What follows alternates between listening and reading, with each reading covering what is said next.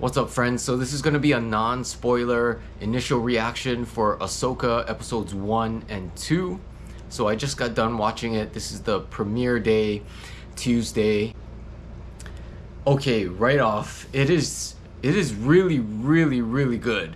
Really amazing. I am loving it. I'm so glad that they dropped the first two episodes because if they just dropped one episode, I would have been like this is too good to just drop one episode. For all you Rebels fans out there, you if you haven't already watched it, I'm sure you've all watched it already, but if you haven't watched it yet, you are in for some treats because this is this is live action Rebels. I feel like uh, as a Clone Wars fan, as a Rebels fan myself, I feel like other other fans who who loved the Clone Wars, who loved the Rebels, is is gonna love the first two episodes of Ahsoka. They address a couple of things. Uh, I'm not gonna say, but um, they address a couple of things, and they they drop some some um, how do you say it like Easter eggs. They drop some tidbits here and there. So if you follow the Rebel series, like you you'll catch on and you'll understand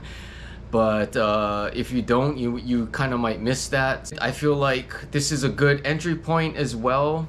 Uh, this this introduces you to Ahsoka, to Hera, to uh, Sabine Wren, and um, kind of introduces you to this whole story of what's happening and what they're trying to do and what this what this whole Ahsoka series is going to be about. I already can't wait for next week. Let me know if you already watched it. Let me know what your thoughts, your speculations, your theories are for this season.